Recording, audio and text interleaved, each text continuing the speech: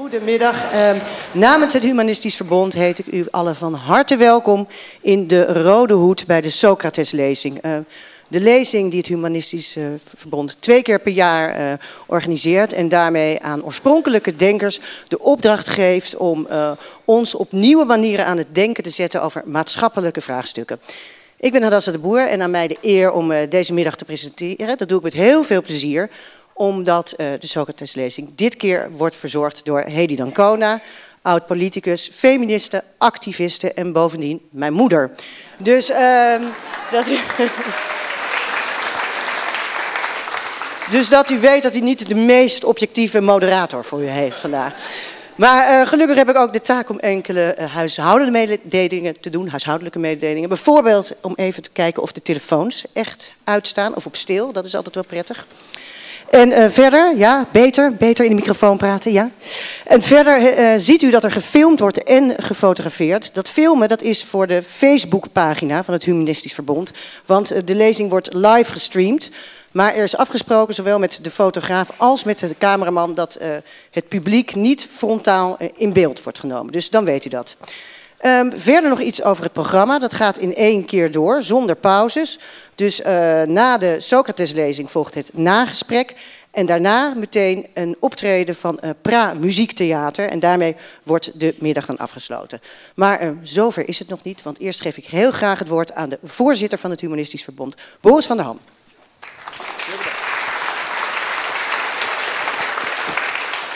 Goedemiddag allemaal, wat is het hier lekker koud hè?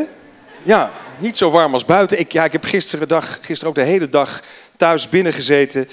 Gordijnen dicht, want die hitte trek ik niet zozeer. Dus ook een heel goede, uh, goede plek om hier vandaag te zijn.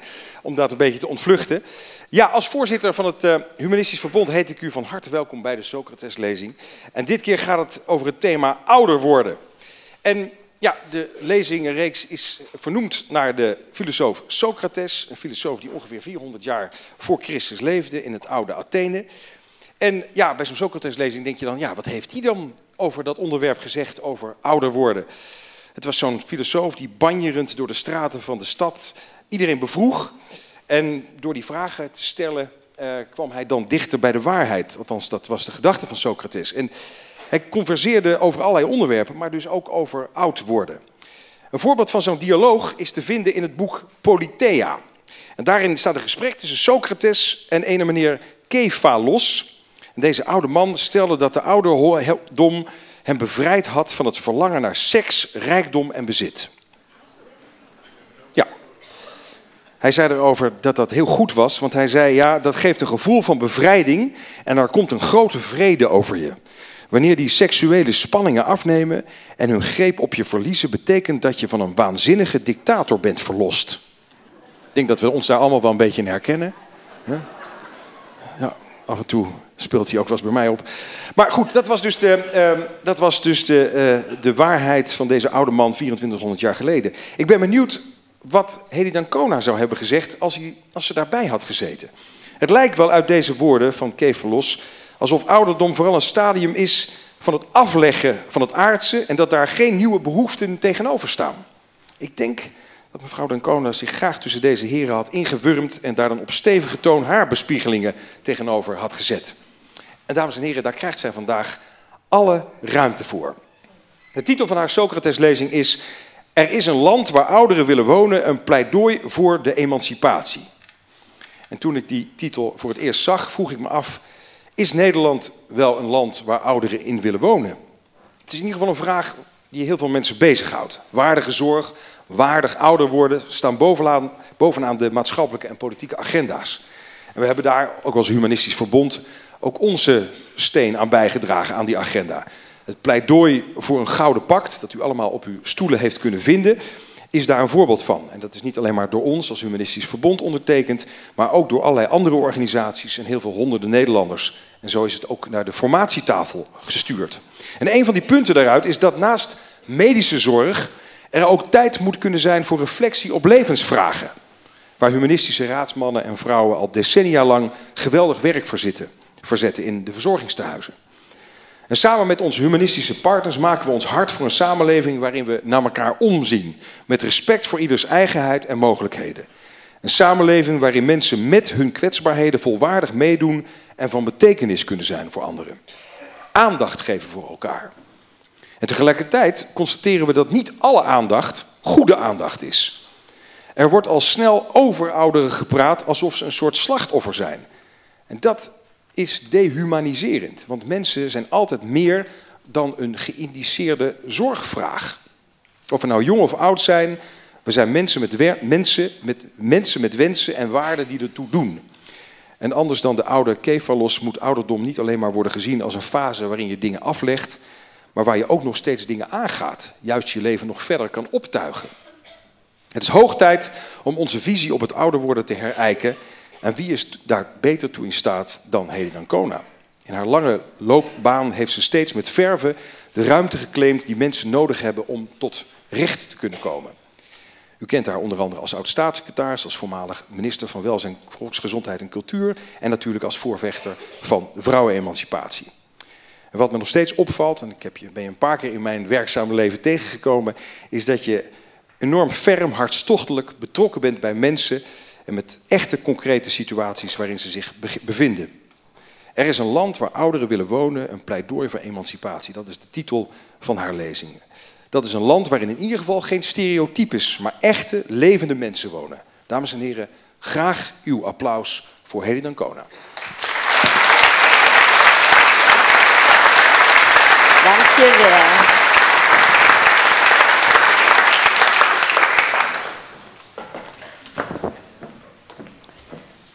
Zo, dankjewel. Dat is een leuke aftrap. Goedemiddag allemaal.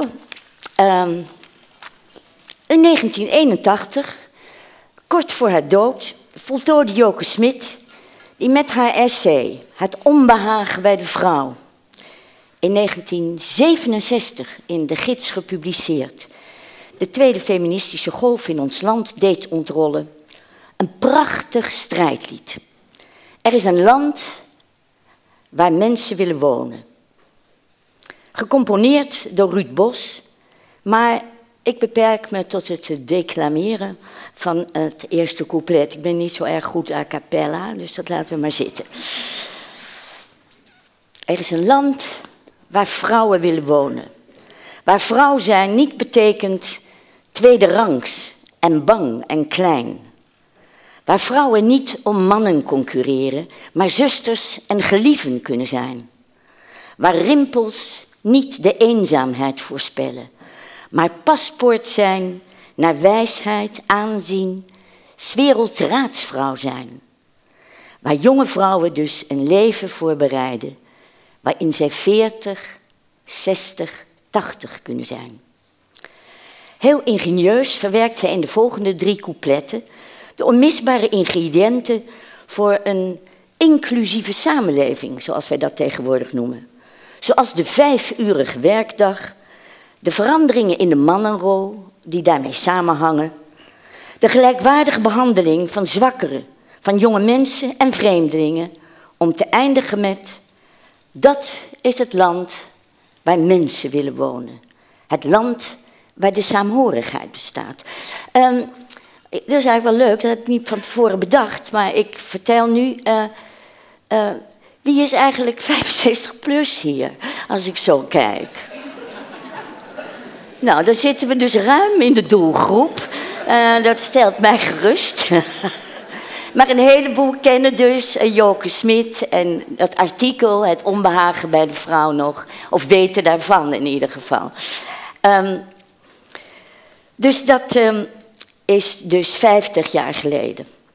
Bijna 50 jaar tussen toen en nu.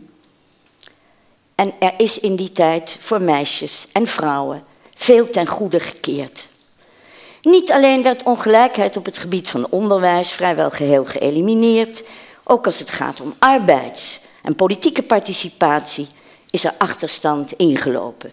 Ik kijk dus met heel veel trots naar niet mijn partijgenote, mevrouw Schippers, die dat zo knap doet hè, als vrouw. Dat was ondenkbaar eh, 50 jaar geleden. Er werd jarenlang, eh, dames en heren, gestrijd voor de legalisering van abortus en een wetgelijke behandeling. En na een uh, jarenlange politieke strijd kwam de bijbehorende wetgeving erdoor uh, in de Kamer. Wat betreft abortus in 84, wetgelijke behandeling. Ik mocht nog achter de regeringstafel zitten en ik vond dat best ontroerend. Want er waren er vanaf 72 ah, mee bezig geweest. Ik als actievoerster met Joke bij Man-Vrouw Maatschappij. Dolmina ook. En in 92 gebeurde het en zat ik met Indales, mijn grote vriendin, en Ernst Hirschballing achter de tafel om uh, die wet te verdedigen. Die is aangenomen in 92. Maar daar hebben we dus even over gedaan. Niet alleen werd ongelijkheid op het Oh, dat heb ik al gezegd. Uh, daarmee is de emancipatie, dames en heren, niet voltooid. Want onze eis voor verkorting van de arbeidstijd tot een vijfurige werkdag voor iedereen werd niet gerealiseerd. Waardoor de eerlijke verdeling tussen mannen en vrouwen van betaald werk in de openbare en in, de, uh, en in, de, in het onbetaalde werk buiten en binnen noemden we dat altijd, werd gebarricadeerd. Er is nog steeds sprake van grote ongelijkheid als het gaat om de verdeling van betaald en onbetaald werk. Um, en we weten wel wie het meeste onbetaalde werk verricht. Er is dus geen enkele reden om achterover te leunen, maar wel om met enige tevredenheid te constateren dat we belangrijke stappen voorwaarts hebben gezet. Als het gaat om zelfontplooiing, de meid die op haar toekomst is voorbereid, u kent het papier nog, en zelfbeschikking, de baas in eigen buik. De twee kernbegrippen, zelfontplooiing en zelfbeschikking, als het gaat om emancipatie. Dat is andere koek als we naar de ouderen kijken. Wij zijn nog niet eens toe aan de gedachten die wij vrouwen toen hadden uh, Joop den Uyl was uh, minister-president en wij hadden toen de kreet... het is de hoogste tijd voor emancipatiebeleid. Uh, en wij lanceerden die kreet met succes, want hij heeft er wel wat aan gedaan. Als er geen betaald werk meer uit je handen komt, zoals bij de meeste oudere mensen... gebeurt er iets met de maatschappelijke appreciatie. Die wordt minder naarmate je het minder druk hebt. Vandaar wellicht dat het kabinetstandpunt wegnemen van belemmeringen voor doorwerken na 65 jaar, dat in 2006 al aan de Kamer werd gepresenteerd, bij mensen die prettig werk hebben, dan moet je er wel bij zeggen, die prettig werk hadden, uh, weinig protest opleverde. Dat lange werken is dan ook een begrijpelijke reactie op de demografische ontwikkeling, op een toekomst waarin ouderen, de 65-plussers, een steeds groter deel van de bevolking uitmaken. Wij zijn met velen, stond er boven een stukje wat ik voor de NRC had geschreven. En we worden er nog veel meer, want het CBS voorspelt tussen nu en 2040 een stijging van 3 naar 4,8 miljoen. En door het stijgen van de levensverwachting groeit de groep 75-plussers, waarvan we er nu 1,2 miljoen hebben, uh, nog harder. Ondanks die dubbele vergrijzing, zoals dat wordt genoemd, wordt ervan uitgegaan dan niet meer, dat niet meer dan 8% van de ouderen, en dan gaat het om 250.000 mensen, hun laatste levensfase zullen doorbrengen in verpleeginrichtingen. 92% dus niet. Want we worden niet alleen ouder, ik mag nu zeggen we, en de anderen die luisteren maar niet. Al wel, het is toch toekomst als het meezit. Um, we worden niet alleen ouder, maar brengen ook meer jaren door in redelijk goede gezondheid. En dat weer vanwege de gezondheidszorg, die ontstijdig voorziet van nieuwe gewrichten, lenzen, hartkleppen, uh, ik noem er maar drie. Maar ik kreeg toevallig vanochtend nog een briefje van een mevrouw uit Uitgeest. Die zei, misschien kan je dat nog even verwerken. En die noemde geloof ik wel twaalf uh, vervangingen van alles door het hele lichaam. Dus die lenzen, die hartkleppen, en dat is, uh, dat is nog niks. Bovendien, die ons bedient met medicijnen die de bloeddruk, het suiker, de cholesterol en vele andere zaken beheersbaar maken. Dat is een kostbare aangelegenheid. Een blik op dat overproportionele deel van de ouderen in de stijging van de gezondheidskosten brengt het schaamrood naar mijn kaken. Enigszins ongemakkelijk voelt het ook, uh, omdat een van de voorwaarden voor het op peil houden van de pensioenkosten, de pensioenkassen met name, de premiestijging van de nog werkenden is. Kennelijk en onbegrijpelijk is dat er geen rekening werd gehouden met het grote aantal dat zoveel langer van dat pensioen geniet en zoveel langer uitkeringen en toeslagen ontvangt dan was voorzien. We wisten met z'n allen, en zeker de geleerden, dat het zo zou gaan. Maar uh, nu doet iedereen, wat krijgen we nou, die oudjes? De oudjes als kostenpost. Uh, nou, u weet het, het werd sterk aangezet tijdens uh, de laatste verkiezingscampagne met thema's als het eigen risico. Dat heb ik ik 40 keer horen langskomen. De effecten van de bezuinigingen op verpleeghuizen en de thuiszorg. Dat het beslag op uh, gemeenschapsgeld het leven van ouderen ook prettiger heeft gemaakt, laat zich niet aflezen uit onderzoek. Alhoewel Nederland tot de welvarendste en veiligste landen behoort, zijn veel ouderen knorrig. Alhoewel Nederland, uh, ze vragen zich af waar ze straks nog recht op hebben. Het CBS registreerde in 2016 de grootste kloof ooit tussen de geluksgevoelens van 65-plussers en de jongere generaties. Maar een generatieoorlog is ongewenst en onlogisch, volgens Kim Putters, de directeur van het Sociaal en Cultureel Planbureau, want jongeren worden ook oud. De Rotterdamse socioloog Eefje Steenvoorde noemde in haar onderzoek onder de oudere bezorgde burger, en dan is zij antwoord, de perceptie van onbeheersbare verslechtering van de samenleving en een gevoel van collectieve machteloosheid om daar wat aan te doen. Het is kennelijk niet moeilijk om dat ongenoegen en dat onbehagen te mobiliseren en politiek te exploiteren. Het gaat niet om oplossingen, want die heeft Wilders niet bij de hand. Het gaat om een soort erkenning dat je als oudere gepakt wordt, zoals Krol dat zo pakkend weet uit te dragen. En met succes. Het zou, uh, gezien de doelgroep, als een griezelige kweekvijver beschouwd kunnen worden, als steeds meer ouderen zich voelen aangetrokken tot dat boze burgersentiment. Dames en heren, dat ik gevraagd ben vanmiddag de Socrates-lezing uit te spreken, vind ik eervol. Ik zal het hebben, en Boris zei het al, over de ouderdom en over de zachte uitsluiting die ouderen ten deel valt. Maatschappelijke buitenstaanders, die gezien hun toenemend aantal steeds machtiger worden in het stemhokje. Een discrepantie die de democratie verzwakt. Hoe kan je oordelen over het publieke domein als niemand je nog uitdaagt of bevraagt? Hoe kun je jezelf zijn als de beeldvorming over ouderen enerzijds bestaat uit aftakeling, op nutteloos achter de granium zitten, zoals dat heet, en anderzijds uit de overwaardering voor vitaliteit en jeugdige uitstraling.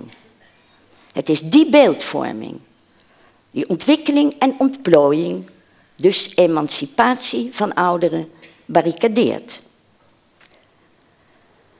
Het de onderzoekmethode van de Griekse filosoof uit de vijfde eeuw voor Christus is nog steeds actueel en inspirerend. Dichter bij de waarheid komen door participerende observatie.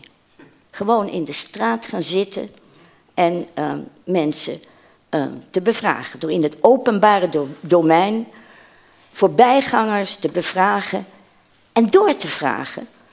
Totdat ze geen antwoord meer hadden en opnieuw, fris van de leven, konden nadenken.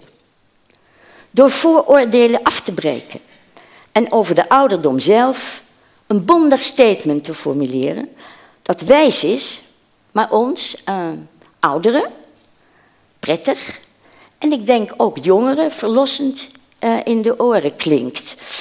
Um, beauty is a short-lived tyranny. Schoonheid is een kortstondige tirannie. Knoop het in je oren. Verlies, niet alleen van schoonheid, is inherent aan het ouder worden. En desondanks zijn er naast de boze ook blije ouderen. Internationaal onderzoek toont aan dat bij ons de senioren er het best voor staan en de kinderen eveneens het gelukkigst zijn. Het inkomen staat in de mondiale top 10 en de verdeling is afgezien van het vermogen redelijk. De scheidslijnen tussen ouderen gaan over meer dan blij of boos. Ze lopen ook tussen de cans en cannots. Tussen hen die het wel of niet redden in de bureaucratie. De weg weten te vinden naar voorzieningen of onderweg verdwalen. Degenen die met het verdwijnen van de verzuiling hun identiteit verloren hebben en, op, en nog steeds op zoek zijn naar het gevoel ergens bij te horen, of zij die andere onderkomens hebben gevonden. Tuinieren, fitness, in een koor zingen, leesclub gaan, studeren. Kan allemaal. Museumkaart en met die museumkaart kun je zelfs daten tegenwoordig. Dus uh, met succes. Ik geef de tip maar even door. Ondanks die verscheidenheid in het beleven van ouderdom is de beeldvorming veel overzichtelijker. Daarbij gaat het om eenzaamheid en onomkeerbaar verval. Om behoefte aan zorg, om verlies van lotgenoten, verlies van eigen zingeving en maatschappelijke betekenis. Dit beeld heeft eigenlijk het andere, wat ik ook vrij erg vond, zo'n jaar of vijftien geleden, de van hun fut genietende, de winter aan de Spaanse kust vertoevende, de altijd onderweg zijnde caravanbezitter vervangen. Dat heette genietend van het uh, Zwitserleven gevoel. Daar hoor je eigenlijk nooit meer van. De zorgeloosheid is opgevolgd door bezorgdheid. De jaloezie door deernis. Je kon wachten op goed bedoelde ondersteuning. De ChristenUnie, samen met Omroep Max en enkele oudere organisaties, probeerde kort geleden het manifest Waardig ouder worden, het herwaarderen van de ouderdom. Waarbij de achterliggende gedachte onder andere was dat in dat geval de ideeën over een voltooid leven snel zouden opdrogen. Net zo paternalistisch zijn de voorgestelde maatregelen. Ouderen vaker samen laten eten, uh, meer ondersteuning door nog meer mantelzorg, uh, om maar enkele te noemen. Nou, uh, het Gouden Pact van het Humanistisch Verbond lag op iedere stoel. Kijk, het wordt omhoog gehouden, maar je zit erop. Kun je dus straks. Dacht er ook zo aan en heeft een visie geëtaleerd, heel kort en bondig, die meer op mijn toonhoogte is. Maar we moeten ons ook niet in de luren laten leggen door de mantra's die de participatiesamenleving, een begrip wat 1 eh, januari 2015 eh, in de lucht vloog, eh, ook voor ouderen in petto, in petto heeft. De term klinkt veilig, zegt diezelfde Kim Putters die ik net al aanhaalde, van het Sociaal en Cultureel Planbureau. Hij zegt alle politieke stromingen konden zich, erin vinden. Liberalen denken, er worden grenzen aan de verzorgingsstaat gesteld. Hiep hoi. De sociaaldemocraten gaan we beter zorgen voor elkaar. En voor de christendemocraten houdt het de belofte in van het, de herleving van het maatschappelijk middenveld. Volgens Putter is het een um, containerbegrip waar niet goed over is nagedacht. Want wat wordt in de participatiesamenleving nou eigenlijk onder goede zorg verstaan? Moet dat in keukentafelgesprekken, dat schijnt zo te gaan, met ambtenaren worden bepaald? Moeten die dan ook uitmaken door wie die wordt verschaft, die goede zorg? Door buurvrouwen, dochters, kleindochters? Het wettelijk recht op thuiszorg vervalt. Maar moeten daarvoor ook diezelfde vrouwen weer komen opdraven? Hij maakt zich nog meer zorgen over de legitimiteit van zo'n participatiesamenleving. Vraagt zich af waar de controlemechanismen zitten. Albert-Jan Kruiter van het Instituut voor Publieke Waarden zei daarover in Buitenhof: De participatiesamenleving is gewoon een beleidsinstrument om bezuinigingen te realiseren. Na de economische crisis betekent dit een democratische. Nu is het niet ondenkbaar dat de representatieve democratie deels vervangen wordt door een participatiedemocratie. Niet ondenkbaar uh, dat daarvoor referenda, uh, buurtinitiatieven, zoals bijvoorbeeld uh, de stadsdorpen in deze stad, coöperaties op allerlei terrein, die gaan heel goed. Steeds meer mensen die zelf beslissen hoe ze bepaalde dingen geregeld willen met elkaar. net zoals vroeger de spaar. Dat weet niemand.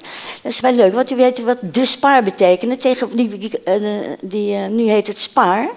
Maar dat, heette, dat betekende door eendrachtig samenwerken profiteren alle regelmatig. Is die goed? Het is ook echt zo, want dat was een coöperatie. Dus um, als je nu nog spaar ziet, denk je aan dat vroegere ideaal.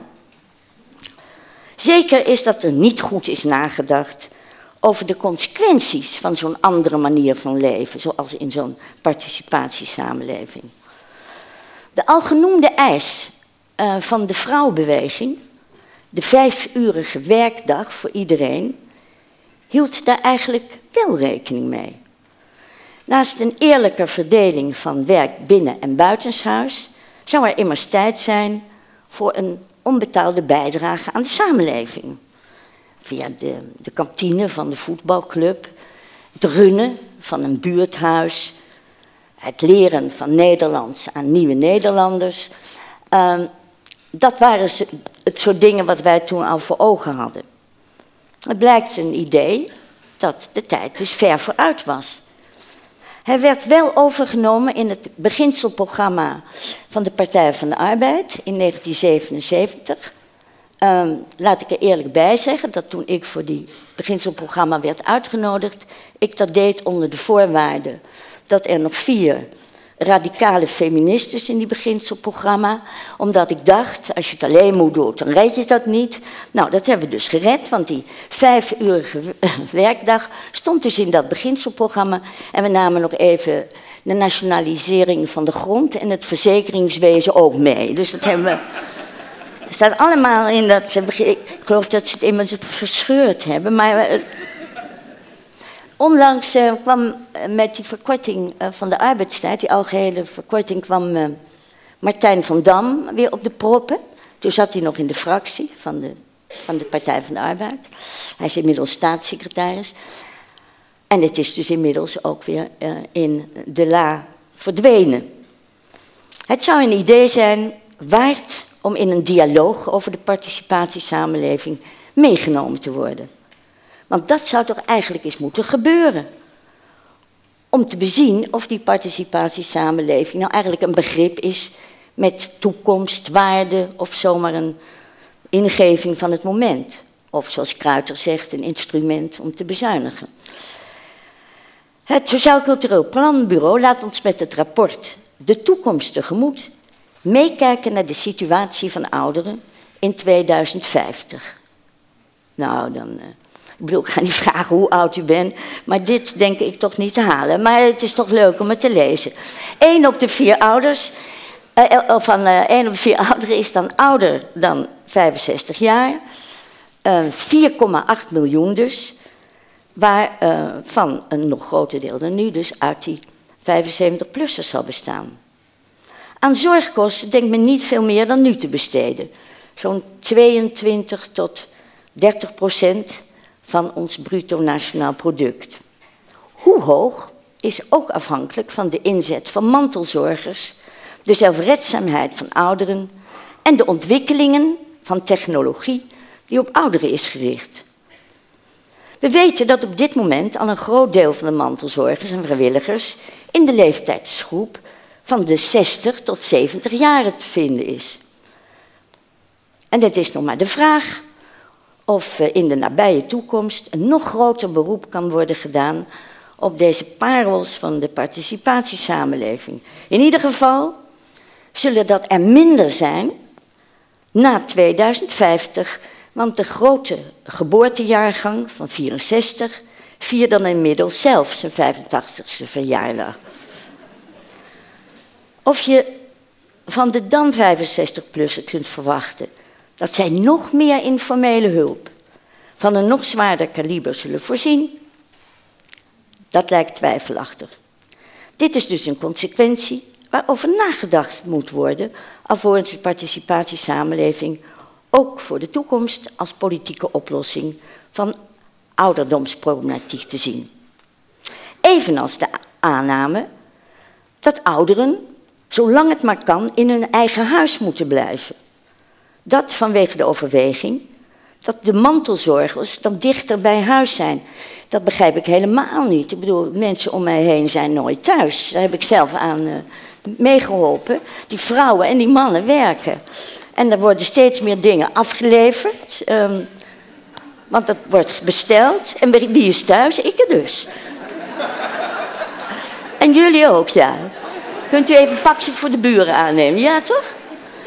Het is niet erg. Het is eigenlijk helemaal niet erg. Daarom zeg ik het niet. Maar ik zeg dat het zo raar is om te denken dat uh, in de nabije toekomst je in de buurt van je buren moet blijven wonen. Dat raad ik je dus nu al af. Het is dus een dubieus perspectief dat in je huis blijven wonen, um, maar met zeer onwenselijke gevolgen. Want um, de woningmarkt raakt, raakt potdicht en jongeren zullen nog moeilijker een uh, huis kunnen vinden dan nu al. En veel ouderen blijven wonen in huizen die niet passend voor ze zijn. Dat zoveel beleid en onderzoek en toekomstvoorspelling over de ouderdom zo weinig overdacht lijkt te zijn, hangt samen met de stereotype beeldvorming. Aagje Swinnen, Socrates hoogleraar aan de Universiteit van Humanistiek, de rector van die universiteit zit hier, en ik haal haar dus aan, uw hoogleraar, uh, die meent terecht dat naast het verval succesvol ouder worden wordt opgevat als zo lang mogelijk jeugdig en actief blijven. En dat is de stereotypering. Dus verval, en als het mee zit, zogenaamd, dan ben je zo lang mogelijk jeugdig en actief. En aan mij en mijn leeftijdgenoten veel gestelde vraag is dan ook: je bent wel bijna 80, maar hoe oud voel je je? Wel nu, voor de zoveelste keer, ik zeg het nog maar eens, ik voel me precies zo oud als ik ben. Ik ga ervan uit dat ik veel minder toekomst dan verleden heb. Dat bijna altijd de mensen om me heen jonger zijn. Vanmiddag eh, voelt het dus aangenaam, maar eigenlijk zijn mensen altijd jonger. Ik, en ik zie er overal kinderen in. Dat is ook uh, idioot. Dan zeg ik tegen mijn man Veldhoen, uh, hoe kan dat nou?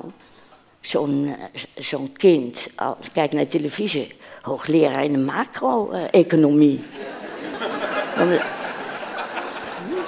Dan, blijkt zo'n mens te gewoon in de veertig te zijn. Maar ik denk dat ze twaalf zijn of zo. Wonderkinderen, allemaal wonderkinderen passeren mij. Maar dat, is, dat komt daardoor. Nou, minder leuk is natuurlijk als je zelf oud wordt, dat er veel meer mensen om me heen ziek zijn of doodgaan. En dat er nog zo vaak aan mij gevraagd wordt: doe jij nog wat? Maar juist omdat ik tot de doelgroep behoor, waarover anderen zoveel te melden hebben, begint mijn irritatie af en toe toe te nemen. Er wordt over onze hoofden heen nagedacht en beslist over alles dat onszelf betreft. Over ons zonder ons. We beschikken over een wetgelijke behandeling die leeftijdsdiscriminatie verbiedt. Maar dat gebeurt aan de lopende band. We zijn ondervertegenwoordigd in de media, Behalve dan wanneer het om het eigen risico gaat of om uh, eenzaamheid. We zijn ondervertegenwoordigd in dat maatschappelijke middenveld. En we zijn ondervertegenwoordigd in de politiek. Maakt dat mij tot kaderlid van de boze ouderen? Nee. Nee, het gaat om verontwaardiging. Neem het niet. Neem het niet is de titel van het pamflet van de toen 93-jarige Stefan Hessels, dat in 2011 verscheen. Hij vluchtte net voor de oorlog uit Duitsland, studeerde filosofie in Frankrijk, overleefde Boegenwald. Na de oorlog was hij als diplomaat, vertegenwoordiger van Frankrijk, betrokken bij het opstellen van de universele verklaring van de mens. In de jaren 70 was hij Frankrijks ambassadeur bij de Verenigde Naties. Hij was 93 toen hij de ontwikkelingen in de samenleving van nu toetst aan de waarden en de principes die hij destijds meehielp te formuleren. En die we volgens hem meer dan ooit nodig hebben om een maatschappij te behouden waar we trots op kunnen zijn. En dat is niet de onze, schrijft Hessel. Niet deze maatschappij van illegalen, van uitzettingen, van achterdocht als het gaat om migranten. Niet deze maatschappij waar de verworvenheden van het sociale stelsel ter discussie worden gesteld. De toegang voor kinderen tot het onderwijs wordt belemmerd.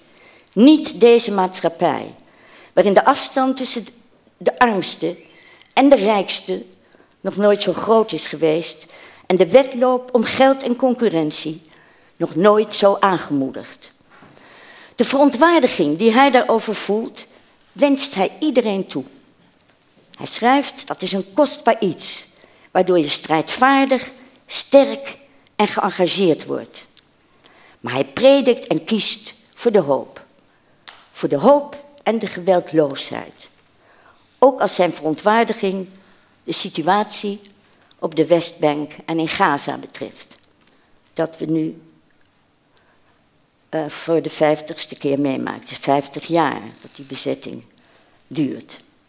En hij besluit zijn strijdbaar geschrift, neem het niet, heet het dus, met de woorden aan al degenen, mannen en vrouwen, die de 21ste eeuw haar beslag zullen geven, zeggen we met gevoelens van genegenheid. Scheppen is weerstand bieden. Weerstand bieden is scheppen. De 93-jarige Stefan Hessel werd na het lezen van Neem het niet mijn rolmodel en inspiratiebron. Verontwaardiging als kostbaar iets, die niet gericht is op het individuele onbehagen van ouderen, maar op het feit dat stereotypering hun en mijn e- emancipatie als minderheidsgroep barricadeert. Zelfbeschikking en zelfontplooiing, de kenmerken van emancipatie staan nog in de kinderschoenen als het om ouderen gaat. Zelfs als het om geëmancipeerde oudere vrouwen gaat. En dat verandert pas als wij het niet meer nemen. De zelfbeschikking van vrouwen manifesteerde zich in de jaren 70 met name rond de abortuswetgeving. De vrouw beslist en baas in eigen buik waren de strijdkreten op de spandoeken. Die konden worden opgerold toen in 1984, na vier eerdere pogingen, de wet die abortus legaliseerde in de Eerste Kamer werd aangenomen. Ik heb zelf nog, uh, ik geloof, aan de derde poging meegedaan. Ik was toen Eerste Kamerlid. En uh, dat haalden we niet, met één stem verschil. Nu moet ik zeggen dat ik dat uh, moest verdedigen, terwijl mijn zusters van de wat radicale vrouwbeweging buiten stonden te protesteren. Ik moest dus boven dat uh, protest uitkomen, want die vonden dat de wet niet ver genoeg ging. En ik dacht dus, laten we het maar binnenhalen, want dan hebben we tenminste wat in handen en kan het nog wel veranderen. Maar dat is nog wel, als ik eraan terugdenk, was dat geen triomfdag. Um, en bovendien ging het niet door, want ik kwam een stemtekort. Dat beslissingrecht van de meest om het betrokkenen zou nu voor ouderen gerealiseerd moeten worden als het gaat om wetgeving met betrekking tot het voltooide leven. Met enige huiver kun je afwachten wat er met het voorstel van Pia Dijkstra gebeurt, dat niet alleen door de achterban van enkele politieke partijen wordt ondersteund, maar ook door maatschappelijke organisaties als het Humanistisch Verbond en door de actiegroep uit vrije wil, die het op de politieke agenda kreeg. Ik maakte deel uit van die actiegroep uit vrije wil. Uh, en wij kregen inderdaad binnen de kortste tijd het benodigde aantal om, uh, stemmen wat nodig was hè, om, om het op de politieke agenda te krijgen. Maar we weten inmiddels hoe lang dergelijke onderwerpen erover doen. Althans, dat heb ik uh, proberen duidelijk te maken. Als de ChristenUnie gaat meeregeren, dan kunnen we het voorlopig vergeten.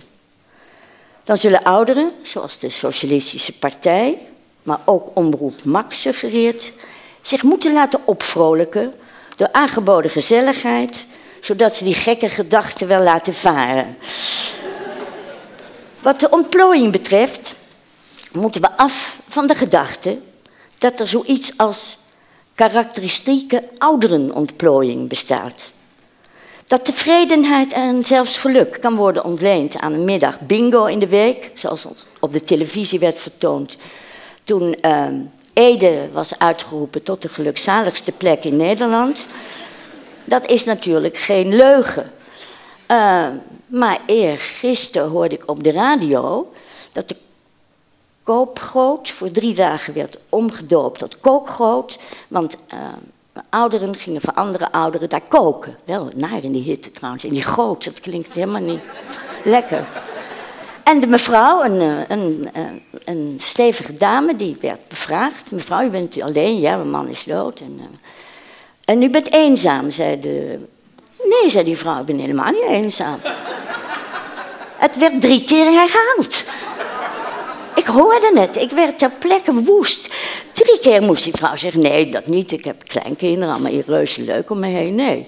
Maar ik vond het leuk om te gaan koken voor andere mensen. Nou, dus um, het zit er werkelijk bij iedereen in. Um, en het, is, uh, het zijn geen leugens dat er eenzamen zijn.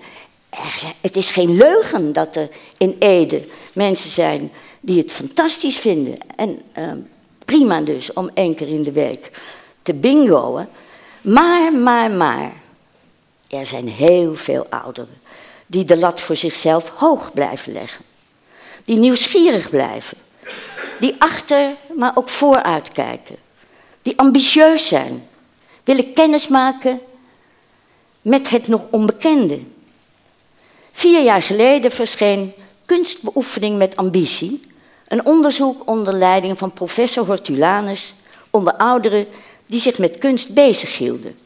Hun artistieke talenten bleven of gingen ontwikkelen.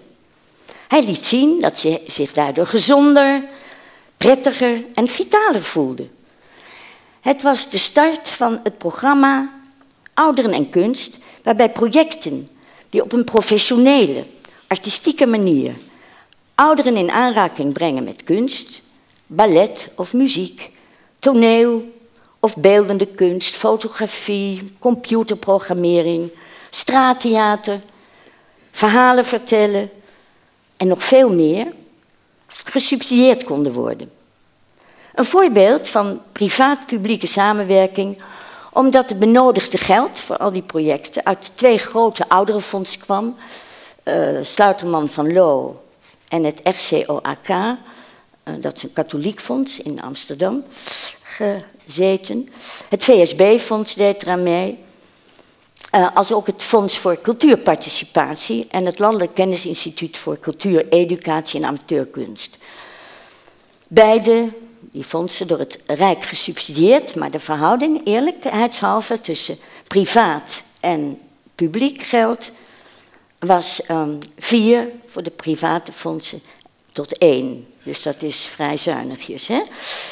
Um, onder de titel Lang leven kunst werd tussen 2013 eh, en 2016 9,8 miljoen besteed aan projecten waaraan meer dan 400.000, veel meer dan 400.000 ouderen meededen. Uh, meer dan 3000 professionals en uh, vrijwilligers die zich bekwaamden in het begeleiden en programmeren. Er werd een netwerk van lokale bestuurders gevormd en een digitale handleiding ontworpen om het lokale bestuur, dat is nu dus actueel naar die gemeenteraadsverkiezingen toe, aan te moedigen om ouderen en kunst te integreren in hun cultuur- en welzijnsbeleid. Ze te laten ontdekken welke kansen hier liggen voor de gedecentraliseerde WMO, de Wet Maatschappelijke Ondersteuning. Tien steden, waaronder Den Haag, Leeuwarden, Maastricht en Amsterdam, kandideerden zich als age-friendly and cultural city. In gewoon Nederlands dus, maar zo heet dat nou eenmaal. Oh, wacht, het is, het is een uh, VN-term en daarom zal het dus in het Engels. Maar goed, dat deden we dus allemaal. En, um, en die etaleerden de programma's die zij hadden, ouderen en cultuur, in het kader van een onderlinge wedstrijd. Um, het was, uh, Amsterdam won dat. Uh, ik was voorzitter van de jury, maar dat heeft daar echt niks mee te maken. Amsterdam won dat omdat dat ook een fantastisch project was. De OBA en Foam. Ja, ken je het? Ja, leuk hè?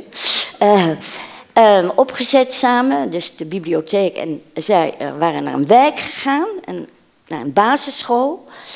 Eh, een klas van een basisschool en zei, willen jullie meedoen? Nou leuk, fotograferen van je eigen wijk. En ze koppelden iedere leerling, ik denk dat dat twaalfjarigen zo waren, tien tot twaalfjarigen, aan um, een bewoner van de wijk die dat mee wilde doen. En die kregen dus een fototoestel en één zo'n kind met een oud mens gingen samen de wijk in. En dat was zo prachtig. De foto's die ze maakten, want ze keken door elkaars ogen. Dat is het allerbelangrijkste dat je door de ogen van een ander kan kijken. En dat was een prachtige tentoonstelling hebben ze van gemaakt. Foto's uitvergroot. Nou, ze. Maar die andere plannen, Leeuwarden was ook zo leuk. Ik kan er niet erg over uitweiden in verband met de tijd. Oh ja, ze zegt de moderator. Nou, dan doe ik dat maar niet.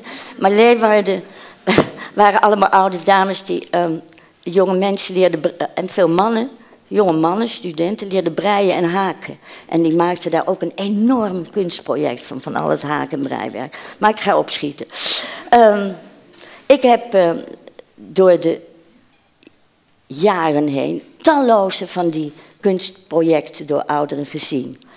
En uh, ik ben daardoor heel enthousiast geraakt, onder de indruk en soms ontroerd. Voor deze middag mocht ik een voorbeeldig project selecteren waarbij mijn keus viel op PRA. Een dansgroep van ouderen en studenten van balletacademisch die voorstellingen en workshops verzorgen, vooral in verpleeghuizen. Ik heb gezien hoe ze patiënten letterlijk in beweging brachten. Functionele aanrakingen, want dat krijgen die mensen wel die een rolstoel of. vervingen ze door, door fysieke, door emotionele. Dat was prachtig. Um, en uh, hier in een totaal andere setting um, uh, zult u ze straks zien aan het slot van de middag. En ik hoop dat um, u begrijpt waarom ik zo onder de indruk ben daarvan. Want het is hier natuurlijk wel iets anders dan in een zaal van een verpleeghuis. Waarbij ik trouwens ook, want die jonge danseressen nodigden ook oude heren uit om met hun te gaan dansen. En soms, soms wilden ze natuurlijk niet, nukkig, nee, nee.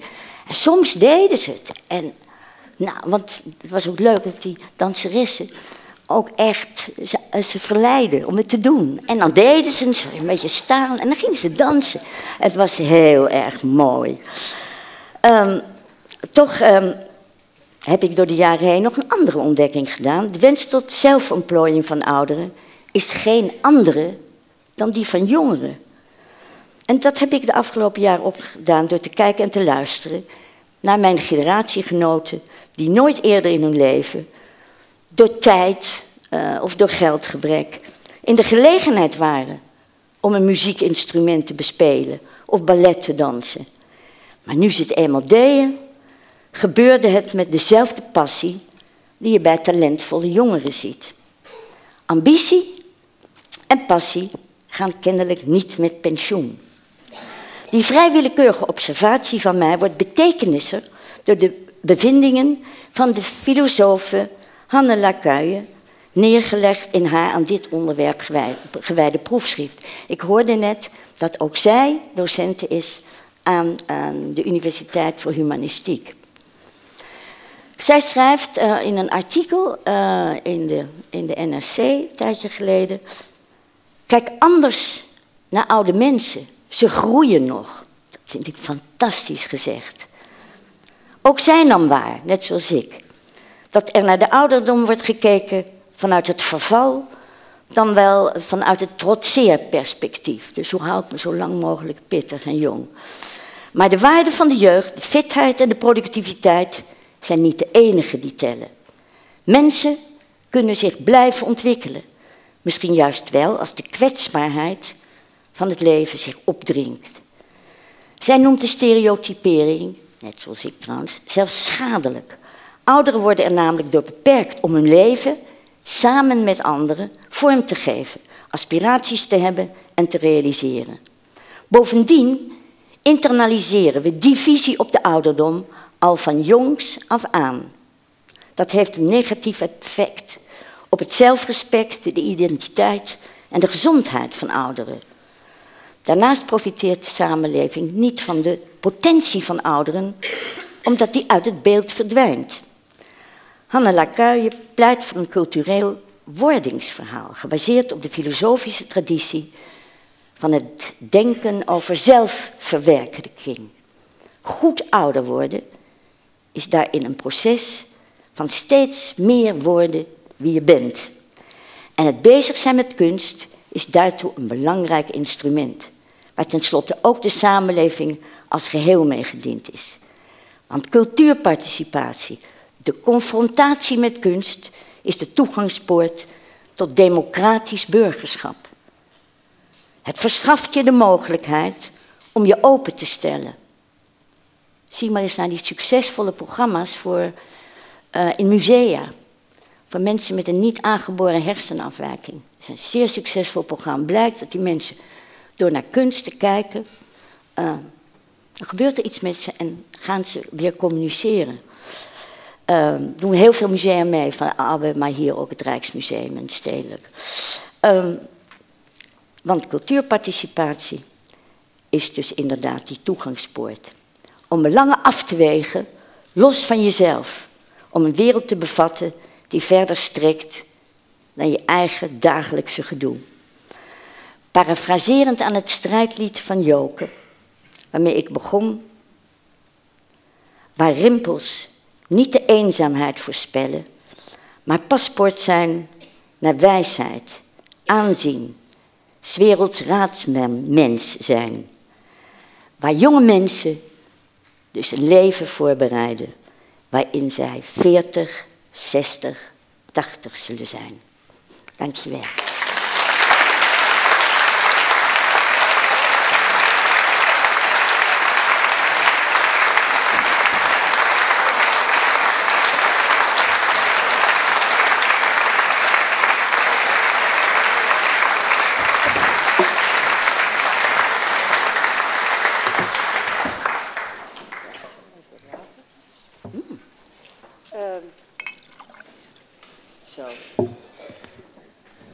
Dankjewel. Uh, in het programma staat napraten met deskundigen. Uh, die deskundigen, dat zijn jullie, want het leek ons uh, aardig als er zoveel mogelijk ruimte zou zijn voor vragen uit de zaal. Maar ik maak toch even gebruik van mijn privilege hier om alvast als eerste te beginnen met dat bevragen. dankjewel. Nog, mag ik tutoyeren trouwens?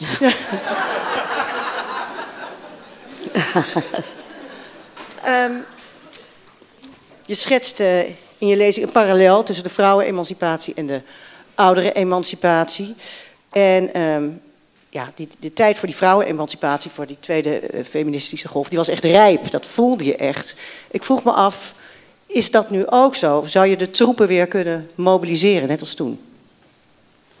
Nou, dat is best uh, ingewikkeld en moeilijk.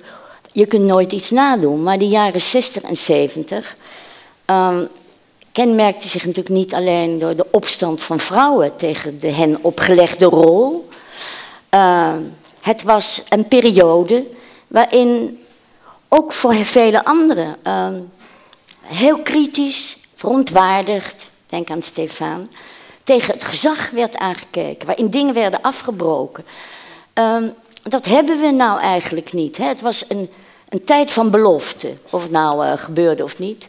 Maar die vrouwenemancipatie, die vrouwenbevrijding, zoals we dat noemden, ehm, was eigenlijk een, onderdeel van de studenten die protesteerden, van mensen die hun mond open gingen doen op allerlei plekken. De, de, de, de democratiseringsgolf. En we beschouwden dus eigenlijk, um, we beschouwden eigenlijk die, uh, die vrouwenemancipatie ook een, een, als een aspect van die democratisering. Dus, maar, maar de ouderen waren toen nog niet uh, aan bod? Dat nee, was toen helemaal niet aan de orde? Nee. nee. maar omdat je zegt, is dat nu, deze tijd is dus inderdaad niet zo gunstig nee. om, met, om het woord emancipatie um, te gebruiken als de jaren 60 en 70. Dat was een beloftevolle tijd. Ja. En daarin kon je dus uh, met niet zoveel hoor, want we noemen het wel beweging, ja. die vrouwenbeweging, maar dat was natuurlijk helemaal, dat stelde kwantitatief. Mag het nu wel verklappen, niet zo heel erg veel voor. Uh, ik denk dat er nooit meer dan 2000 mensen lid waren van de actiegroep Man-Vrouw Maatschappij. En uh, Dolomine had niet eens een ledenregister. Dat was, maar ook niet zoveel. In die zin zou het dus wel meer moeten kunnen, ja, eigenlijk. Ja, als je maar, als je maar uh, de politiek kunt verleiden. He, zoals ik zei, dat wij, dat Joop den Uyl uh, niet nee durfde te zeggen. Toen hij mij vroeg voor het beginselprogramma. En ik zei, ja, dat doe ik alleen maar als er nog vier. Ze waren ook een beetje bang voor die vrouwen. Ze hadden het idee, en daar moeten wij ook van profiteren. Het zijn er wel veel. Ja. Namelijk ongeveer 51 procent. Dus als we die niet een beetje tegemoet komen. Dus ze kwamen eigenlijk ons. Uh, de politiek uh, reageerde heel welwillend op iets wat deed alsof het ook numeriek zeer groot was. En dat was dus niet waar. Maar goed, Hetzelfde gevoel zou je kunnen gebruiken om nu naar de politiek te gaan. Het is toch te gek voor woorden. Als je zo'n programma hebt als Lang Leven Kunst. En blijkt zo goed. Ik bedoel, um, voor de gezondheid, laten we het ook maar zeggen. Voor het bestrijden van de eenzaamheid. Kan je van mij erbij krijgen, allemaal. Maar ook om ons tot democratische burgers. Om niet alleen in, in wrok en, uh, en, en tekortgedaanheid om je heen te kijken, maar om te denken: hé, hey, je kan het ook. Zoals met die, die kinderen die gingen fotograferen. Mhm. Je kunt het ook door die ogen bekijken. Dat is het kenmerk van het democratisch burgerschap. Dus als ze willen, hè, met die aantallen die wij innemers nu en straks, dan zou het toch gewoon zijn dat je ruimhartig zei: Nou ja, die private clubs die willen ook wel weer eens wat anders doen. Dat subsidiëren we gewoon. Daar maken we geen punt van. Daar winnen we zoveel mee. Kijk, ik ben al bezig, dus ik jou moet overtuigen. Ja. ja, nou ja, als je het dus hebt over, over zelfontplooiing, hè, en je zegt waar vandaan moet dat komen, dan zeg je, ja, de, de, de zet is nu, politiek is aan zet in dit geval, om dat uh, Ja, te maar wij moeten natuurlijk wel, je moet wel onder de aandacht worden gebracht. Ik, bedoel, ik breng het nu onder de aandacht en als het, de kranten het overnemen, moet even, en dan moeten jullie het ook allemaal op plekken waar je komt zeggen, nou, er moet wat gebeuren. Weg met uh, ons neerzetten als zielenpieten uh, en verder niks. Nou ja. Maar dan wil ik toch nog heel even over, over die zelfontplooiing. Ik ben het met je eens. Ik ben heel erg van overtuigd dat, dat zelfontplooiing echt een van de sleutels is hè, voor geluk. Maar uit ervaring denk ik dat niet de meerderheid van de mensen dat uh, zo ziet. Ik denk dat heel veel mensen een, een, een, negatief beeld hebben bij leren. Als je kijkt om je heen, zijn er, zijn er, hè, zijn er niet heel veel mensen die uit zichzelf, ook als ze daar tijd voor hebben, en uh, nog wel de middelen, dat gaan doen. Hoe weet jij dat? Ja, dat... Uh... Nee. als je kijkt naar... Nou ja, goed. Nou ja, maar er zijn dus... Um, er zijn natuurlijk toch... Uh, laat ik zeggen, ga eens... heleboel mensen... Ik kreeg vanochtend nog een, een mailtje van iemand. Die zei... Uh, die kende ik van vroeger. Ik ben op mijn 72ste viool gaan spelen. Um, die ik na mijn twaalfde jaar nooit meer heb aangeraakt. En ik vind het fantastisch. En ik volg ook een cursus. Nou, ik ben het, dat is te moeilijk om te onthouden, want ik las het mailtje. Maar het was iets heel technisch. En uh, daarvoor doe ik ook examen. Terwijl, ik bedoel, niet meer om dat te gebruiken. Er zijn echt veel meer mensen. En ik heb het ook bij dat Lang Leven Kunst gezien. Heel veel ouderen. Dat als je met zo'n project komt ze, zijn ook bij de, ze zijn ook bij uh, de eet, nou nee, bij zo'n actie, de Action mhm. heet dat geloof ik, gaan zitten om mensen te werven. Weet je wel, dat je niet denkt dat alleen maar mensen die doorgeleerd hebben... Um, nog verder ja. door willen leren. Er zijn ook heel veel mensen die daar nooit de kans voor hebben gehad. Het, re- het residentieorkest in Den Haag heeft een aangeboden in de wijk Morgenstond. Ik kom uit Den Haag, dus ik weet dat het een behoorlijk erge wijk is. Ehm, en flyers in de bus doen dat ze in drie maanden. En dat ze les konden krijgen. En ik heb na drie maanden dat gehoord. Nou, volgens mij zaten er stiekem nog wel wat mensen van het residentieorkest tussen, want het klonk behoorlijk aardig. Maar er was een vrouw van 72, die was. Eh klarinet eh, had ze nooit gedaan. Die studeerde zes uur per dag. En die kon het dus echt totaal gepassioneerd. Ja. Hè? Dus ja, eh, oké. Ik zie hier een vraag in de Oh. zaal en dat is professor, professor Joachim Duindam. En eh, ik zeg het even goed, leider van het onderzoeksprogramma Goed Ouder Worden, zeg ik. Inderdaad, en dat is de groep waar dus uh, Aagje Swinnen en Hannele Kuijen toe behoren, die net werden genoemd in de lezing. Um, ik wou iets over de emancipatie zeggen. Ik denk dat emancipatie ook iets te maken heeft met dat de schellen je van de ogen moeten vallen. Ik, ik denk aan het voorbeeld van vorige week in Buitenhof, het onvolprezen tv-programma Buitenhof, waarin de, de, de interviewster eerst een gesprek had met minister Kamp. En dat was eigenlijk een gesprek zoals ze er al vaker zijn. En daarna kwam Jan Terlouw. Nou, de toon veranderde totaal van haar, van haar vragen stellen. Het was alsof ze tegen een kind sprak. Ja, ze legde hem woorden in de ja. mond. Ja. Ze legde hem woorden in de mond alsof hij ze niet zelf kon uitspreken. En nou is Jan Terlouw dus bepaald geen zielige oudje. Integendeel, een alom gerespecteerd oud-politicus. Dus zelfs daar, zelfs bij iemand als Jan Terlouw... hè, en ook helemaal geen slechte interviews te verder, die toon die ze aansloeg. Dus ik denk dat daar moeten echt de schellen ons van de ogen vallen. Voordat we dat willen zien. Maar ik zou dan wel even, wacht even, ik, maar hoe? Ik wil dan wel weten hoe. Op welke manier kun je dat bewerkstelligen? Nou, ik, ik denk onder andere door lezingen zoals we vandaag hebben gehoord. We moeten op een gegeven moment zien dat het gewoon idioot is, dat het gewoon niet kan. En het komt van twee kanten. Hè. Het komt van de kant van de ouderen die het niet meer nemen, die het niet meer pikken zoals u hebt betoogd. En het komt ook van de anderen die de ouderen zo bejegenen. Ja. Dankjewel. Wil je reageren daarop? Nee, ik, vind- ik ben het. eh, ik, zie Ja, het door, eens? ik zie het door zijn ogen. Ja. Ik zie daar, iemand heeft een vraag. Staat iemand Ja. Ik ga, dankjewel. Schellen van de ogen.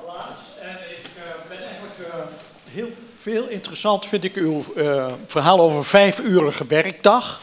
Eh, dat verrast me eigenlijk. Eh, ik had er nog nooit van gehoord.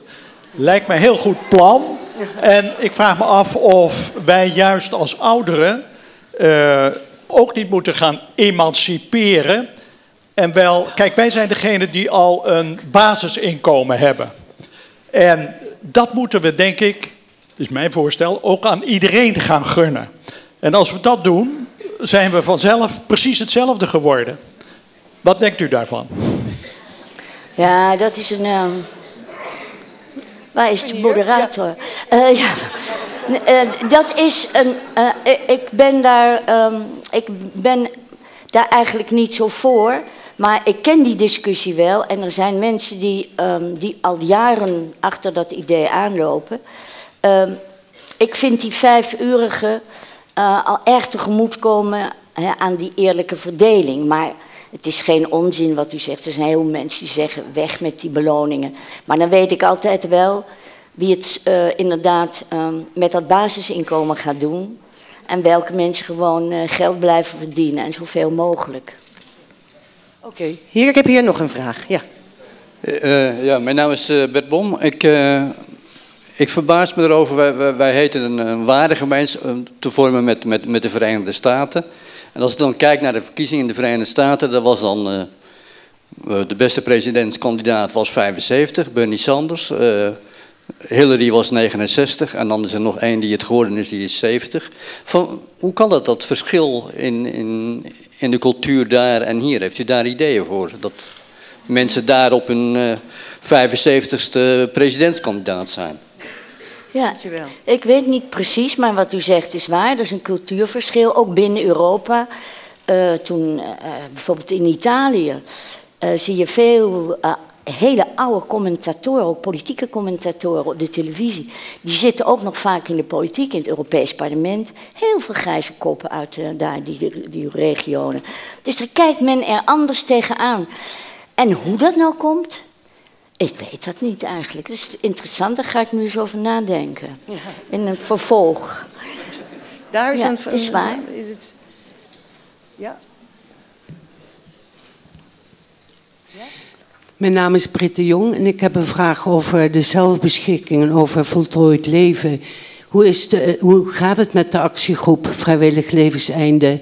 En wat is nu eigenlijk aan de hand dat wij de, het, vrijwillige levenseinde of het, een waardig levenseinde niet uit het medische circuit kunnen krijgen? En heeft dat te maken, ging dat op dezelfde manier met de abortusstrijd of is dat helemaal een foute vergelijking? Nee, dat is helemaal niet fout natuurlijk. Dat is wat, u heeft groot gelijk. Het gaat even lang duren. Het is ook best ingewikkeld. Dat laten we dan maar zeggen. Het wordt nog ingewikkelder omdat wij uh, uh, groepen hebben, fundamentalistische christenen, die daar niks van willen weten. En dat gun ik iedereen ook. Maar niemand wordt daartoe verplicht. We hadden precies hetzelfde met die abortus. Dat hoef je niet te doen. Nee. Je hoeft niet je leven te beëindigen omdat je het voltooit. Dat hoeft niemand. Maar dat is een barrière, desalniettemin. Als je maar lang genoeg het besproken hebt, en Boris van der Ham zei nog tegen mij, uh, dat, dat, uh, uh, dat het wel goed was, dat er heel lang over gesproken werd. Maar nog één ding, uh, uit vrije wil was alleen maar om het op de politieke agenda te krijgen. Dus toen dat eenmaal gebeurd was en toen Pia Dijkstra het wetsvoorstel heeft opgemaakt, toen was onze taak eigenlijk afgelopen. dus wij bestaan, nou, nee, als actiegroep niet meer, omdat het nu dus in de handen is van de politiek. En daarom kijk ik met huiver wat er gaat gebeuren aan die formatietafel. Ja. Maar uh, heel even, als je de, misschien de meeste reacties die je hebt gekregen op hè, de, de aanloop naar de Socrates, uh, Socrateslezing gaan over dit onderwerp. Um, en ik merk, bespeur zelf als ik het lees, dat er heel veel angst is voor uh, uit vrije wil. Um, heb je daar een verklaring voor? Ja, dat is toch ehm, de, het idee dat uh, zoiets maar gemakkelijk zal zijn. Je geeft mensen maar een pil en die nemen ze 1, 2, 3 in. Nou, iedereen die oud is hier en mensen om zich heen heeft zien doodgaan, en ook weet, wist dat dat ook via de euthanasie kon, heeft toch ook gezien hoe mensen aan het leven hangen. En hoe lang mensen het volhouden. Dus dat is één. Twee, het wordt nog beter begeleid in dat voorstel dan normale um, euthanasie. Want ik ben scanarts nou. Ja, een arts die het doet en die scanarts. En dat is het. Maar dit is een begeleidingstraject waarbij je enkele maanden, dus het moet ook niet depressief zijn, het is geen opwelling, maar met iemand die daarvoor is opgeleid moet bespreken of dit een verstandige wens is en of je daarbij blijft. Dus dat gaat ook niet. En ook niet dat kinderen die geld willen erven. Mensen hebben veel angsten, terwijl het in feite, en daarom is het ook een emancipator iets. Je het gaat, de essentie is dat je er zelf over beschikt. Dat is de essentie. En dat moeten we toch beter uitleggen. Ja, of zo. ja dat denk ik. Ik zie daarboven is ook een microfoon, dus ik ga even naar de eerste. Ja. Oké. Okay. Hedy, ik heb een hele belangrijke vraag. Die wil ik je antwoord weten. De eerste drie vragenstellers waren mannen. Ik wil graag van je weten of je dat als een positief iets of als Um, de tweede is een advies. Um, ik heb een Franse vriendin die uh, Nederlandse is, maar nog voor het parlement in Frankrijk mag stemmen. En zij heeft mij verteld dat vrouwen boven de 60 nu heel erg in zijn, omdat meer, meneer Macron zijn. Um, en nu, dit is even een richting voor iedereen, optimistisch verhaal. Um, voor iedereen hier in de zaal. En de voorstel nu is, kunnen wij iets voor Mark verzinnen? Mag ik even opruiken dat ik de eerste vragensteller was? En ik ben toch wel een vrouw. Ja. Ik weet het zeker. Als ik nou iets, ik ben niet zoveel dingen zo zeker. Maar um, ja, weet je, dan moet je eerst gaan tellen of er meer mannen dan vrouwen in de zaal zijn. Ik heb ook doorgeleerd, eh, voordat je weet of dat iets betekent. Maar uh, anders, laat ik maar zeggen, dat is ook wel zo. Dat, um, dat is eigenlijk wel, uh, vrouwen toch altijd ietsje minder snel uh, naar voren komen. Uh, een van de, van de narigheden met dat we nog steeds minder vrouwen in de hogere regionen, en dat ligt dus niet meer bij opleiding, Maar ze presenteren zichzelf. Ze zeggen altijd: Ik vind het een leuke baan of een leuke post, maar. En dan gaan ze. Kijk, dit en dit en dit kan ik niet zo goed. Nou ja, dat. eh, dus er is altijd. En het heeft ook wel iets aardigs natuurlijk. Ik vind vrouwen ook wel leuk daardoor. Ja, doordat ze een zekere bescheidenheid, een beetje relativering van zichzelf. Maar om te klimmen op de maatschappelijke ladder is het niet de meest eh, handige eigenschap. Nee. Eh, ja, ik, ik, ik, heel even, want daarachter staat ook al heel lang iemand te wachten. Daarna kom ik naar je toe. Twee vragen, ja, oké. Eh, ik ben eh Gertie Lensveld en ik ben de rector van diezelfde prachtige Ja. universiteit. Roel- Roelof Fortulanus hoort daar ook nog bij, ik wou het maar even zeggen. Ehm, ik heb een observatie en een vraag. De observatie gaat over uw opmerking dat mensen door elkaars ogen moeten kijken. Eh Hanna heeft een prachtig proefschrift geschreven en een column in de NRC waar u naar verwijst. Maar Bert Keizer in Medisch Contact heeft een hele zure column waarin hij zegt dat zij als 30-jarig meisje een compliment, want ik denk dat ze minstens tien jaar ouder is, ehm, niet kan oordelen hierover en dus haar mond moet houden. Dus ik wilde even weten hoe u daarover dacht, Ja. terwijl ik dat wel een beetje in kan vullen. Ja. En mijn vraag is, wat is nou het eerste wat we kunnen leren van vrouwenemancipatie en hoe dat aangepakt is, wat we nu zouden kunnen doen om die oudere emancipatie eens stevig naar voren te brengen? Ja. Nou, ehm, ehm, ja, die keizer die zegt vaak ook wel dingen waar ik het heel erg mee eens ben. Maar hier ben ik het dus helemaal, dat is onzinnig natuurlijk. Hè, als we het hebben over een inclusieve samenleving. Dat was juist zo mooi. Dat Joke in dat strijdlied van de vrouwen naar de, de kwetsbaren, de ouderen, de migranten, de zwakken, eh, zwakken ging.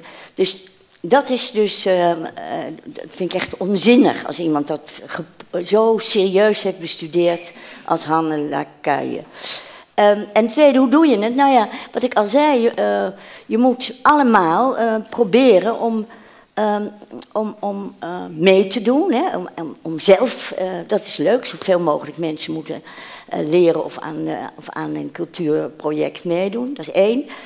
Eh, en wij moeten bij de politiek dus gaan zeggen, wat ik zei. Uiteindelijk was de politiek meer overtuigd van die 51% vrouwen dan dat feitelijke kleine beetje wat daar met die. eh, wij kunnen niet meer met spandoeken, is een beetje uit de tijd natuurlijk. Maar ik ben er wel hoopvol over. Dat op een gegeven ogenblik. Het, en het is natuurlijk ook goedkoper. Er is een dokter in Nieuwegein. Die verschaft, als, die, krij- die krijgen vaak heel veel oudere mensen. Want wie heeft er niet overal een scheut? Ik wel dus. Maar ik ga niet naar de dokter. Maar wat doet die? Die, die schrijft cultuur op recept. Ja, recept en dan schrijft hij dan op van ga, ga dat eens proberen. En dat is dus, het zou ook veel schelen in het welbevinden, het geluk, dat is het belangrijkste. Maar ook in de kosten, zeker. Iemand wil heel graag. Ja, ik kom, u bent Ja, daarna en dan de eerst- laatste. Ja? Als u het erg vindt. Ik wil even, dat is voor de zaal, het is geen eh, het is een mededeling. Eh, Amsterdam is uitgekozen als age-friendly city. Er zijn acht domeinen, is eh, ondergebracht bij de GGD Amsterdam. En daar kunt u op de, hun website, is er een pagina. Alsjeblieft, dank u wel. Oh, nou, dank u wel. Ja. Oké, heel goed. Ik had eh, hier een vraag.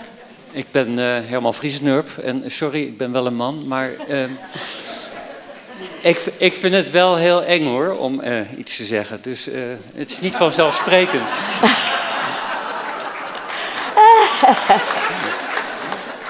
Ehm, ik ik, ehm, wil je heel erg bedanken, want er is iets. Toen ik twaalf was, ben ik een keer naar een zeilschool gegaan. En toen zat ik in een boot met alleen maar meisjes. En die vroegen hoe oud ik was. En ze dachten dat ik acht was. Dat vond ik niet leuk. Maar dat is in de loop der jaren is dat veranderd. En eh, dan dachten ze altijd dat ik ongeveer tien jaar jonger was dan ik was. En dat vond ik heel fijn om te horen. En wat ik vandaag heb geleerd is dat, ik, eh, ehm, dat we ons misschien dan ook dus wel een beetje schamen. En, dan laat ik het over mezelf blijven houden. Dat ik me dus een beetje schaam dat ik al zo oud ben. Ehm, en wat ik eigenlijk vanmiddag van jou geleerd heb is... dat ik het heel fijn vind om nu te kunnen zeggen dat ik gewoon 70 ben. Nou, Dankjewel. Ehm ja, ik zie hier, wacht, ik, ik zie, wacht even. Ik dacht dat je iemand klaar, klaar had staan. Ja, oké. Ik denk dat dat de laatste vraag is namelijk. Ja. Oh, oké. Zij heeft al heel lang, doen we die er nog achteraan. Ja.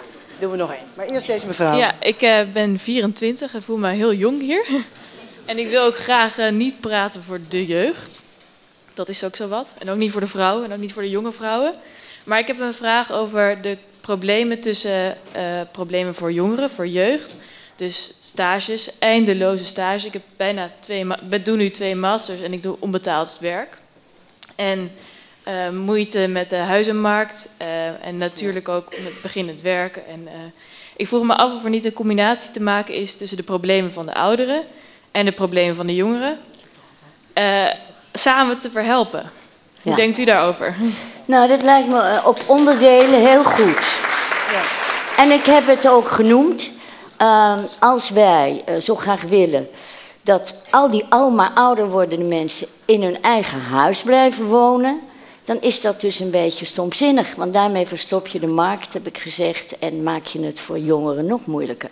Maar er zijn oplossingen mogelijk. Ik heb eh, eh, architecten gezien die hele leuke mini-huizen hadden, die je in de tuin of waar je dan bij anderen neer kon zetten. Er zijn projecten, onder andere in Utrecht, waar ze leegstaande gebouwen hebben verbouwd en daar wonen studenten in en ouderen. Hè, samen. En dat schijnt heel erg goed te werken. Dus dat zijn voorbeelden waarbij je het inderdaad samen kunt doen en dat die inclusiviteit van de samenleving kunt eh, vormgeven door onder andere de manier waarop we wonen. Wacht even, ho. Nee, ja maar, nee. Niet ja maar. Wat waar werd dat vandaan? Nee, we, gaan, we moeten echt even afronden. En hier is een mevrouw die zit al heel lang te wachten. Dus zeg dit is het de maar laatste straks. vraag. In mijn oor. Dan heb ik dit oortje uit. Ja? Ik ben eh Geer Goudriaan. Ik ben heel erg eens met ja, het hele, hele beweging enzovoort. Alleen het eh, dansen en kunst voor ouderen, dat vind ik ook allemaal prima.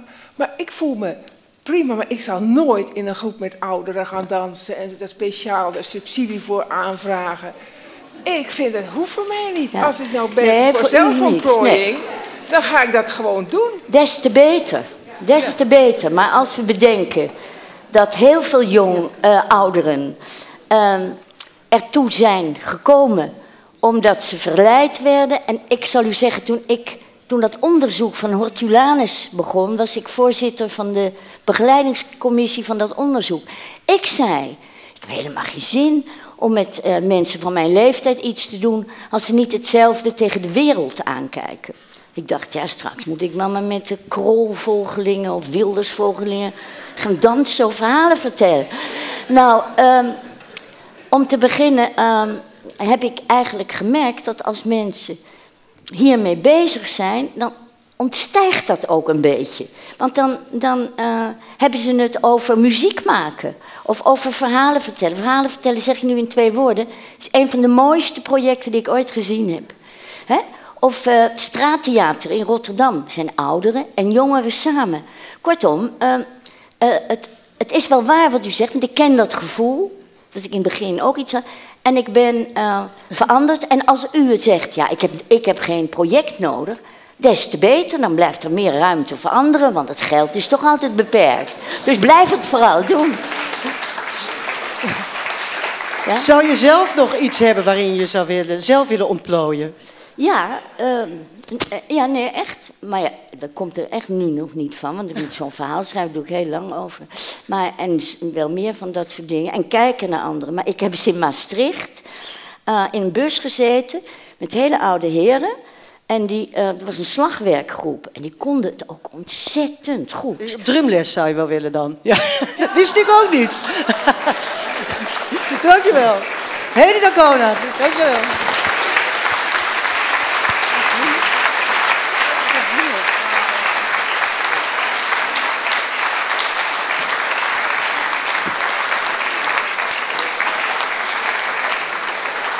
Ja, en sorry, de vragen, dat, we zijn een beetje krap in de tijd. Maar als mensen vragen hebben, eh, je bent zo meteen ook nog aanspreekbaar. Maar eh, we hebben nog iets heel bijzonders voor u. En daarvoor eh, wordt hier nu even omgebouwd. Ik praat vro- vrolijk door. Want op verzoek van Hedy gaan we kijken naar een eh, optreden van Pra Muziektheater. Pra maakt innovatieve dans- en muziekprojecten voor en met ouderen... in samenwerking met kinderen en studenten van kunstopleidingen. En ehm, wat we te zien krijgen, als hier zo meteen de eerste, want ze hebben een beetje ruimte nodig natuurlijk, is een eh, impressie uit Simpel Verlangen. Een landelijk dansproject van PRA in woonzorgcentra dat verschillende leefwerelden met elkaar verbindt. Dansers, dansstudenten van Codarts en muzikanten maakten samen met ouderen en bewoners van zorginstellingen een dansvoorstelling over verlangen en loslaten, over ontmoeten, vertrouwen en luisteren. Simpel verlangen is een ontmoeting tussen verschillende leefwerelden en generaties. Met dank aan, en ik ga ze nu maar vast even noemen, Jozef Sloots, Herman Vriesendorp, Annette Zwinkels, Marij Hammer, Hanja van Hoek, Kevin Gums, Jordi Dik, Bella Bouwman, gelukkig zijn ze met veel, want dan gaat het hier lekker door. Felix Veenstra, Dries van der Post, Klaartje Bergsma, Tessa Zoutendijk, Frederik de Winter, Karin van den Berg, Irina Hoefner, Monique Masselink en Margus Spekkers. Ik denk dat iedereen klaar is. Hè? Dames en heren, uw aandacht voor PRA.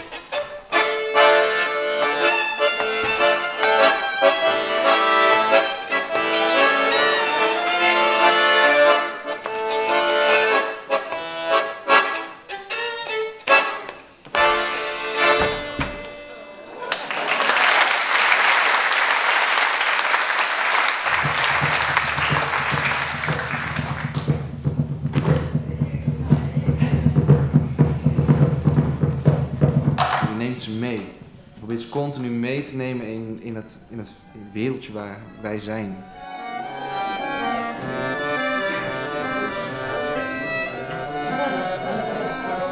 Vandaag stond er iemand bijvoorbeeld naast ons opeens in dat we om de muzikanten heen lagen en er stond er iemand bij en die trok er dus in de groep erbij.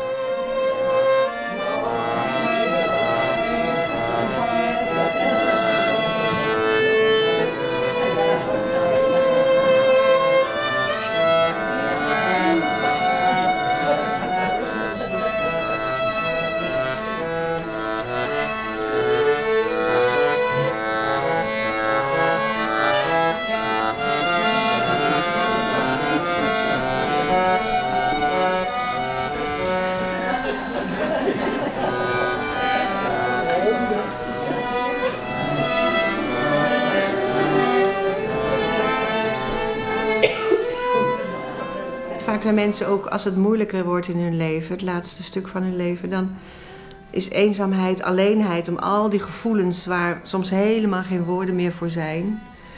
Dat is toch een draaglast, weet je. En, eh, en, en veel mensen van deze generatie zijn ook niet gewend om, om te praten over hun gevoelens. En via de dans en de performance wordt het, eh, krijgt het gestalte, waardoor er eh, minder alleenheid ervaren wordt, meer samen. Ja.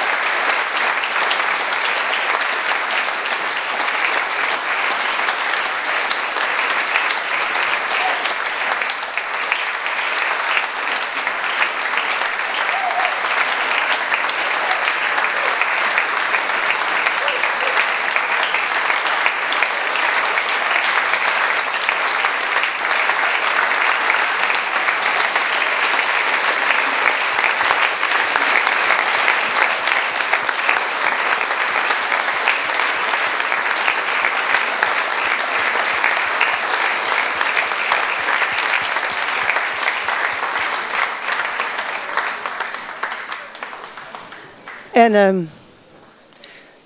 dames en heren, ja. het, eh, wacht even op, ja, het laatste woord is aan uh, Boris van der Ham. Zo, dames en heren, heeft u een goede dag gehad? Fijn. Ehm, allereerst eh, zou ik natuurlijk uh, Hedy Dancona zeer hartelijk bedanken voor haar fantastische bijdrage. Die heel veel nou, gedachten heeft doen oplaaien. Goed debat daarna heeft veroorzaakt. Dus nogmaals een hartelijk applaus voor haar.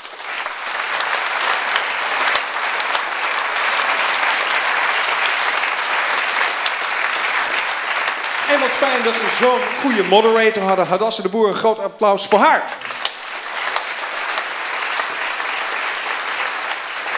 En er zijn heel veel mensen die hier uh, aan mee hebben gewerkt. Mensen van het Humanistisch Verbond, van ook de Rode Hoek, de techniek. Ook voor hen graag een huid, luid applaus. Um, ik vond het zo mooi aan uh, mevrouw Dancona haar verhaal dat ze zei: ja, verontwaardiging, ergens je boos over maken, dat is soms het begin van emancipatie. Dat je zegt, ja, maar hier voel ik me tekort in gedaan. Uh, verontwaardiging kan soms ook verandering in de politiek veroorzaken. U heeft het uh, Gouden Pact uh, gezien.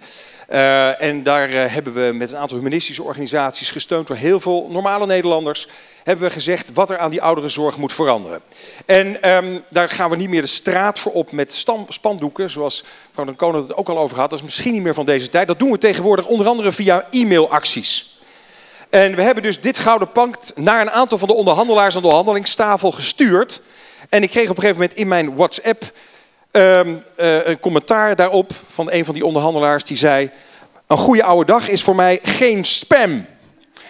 Uh, en uh, met een knipoog erachteraan gelukkig. Maar het was in ieder geval aangekomen bij een van de onderhandelaars die in mijn telefoon zat.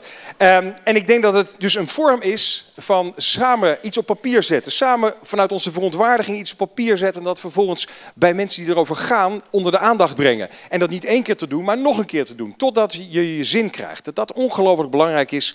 En dat dat dus ook een van de elementen is van dat Gouden Pact. Um, maar dat Gouden Pact en ook de insteek om dat bij de mensen tussen de oren te krijgen, dat gaat niet vanzelf. Daar zitten organisaties achter. Bijvoorbeeld het Humanistisch Verbond.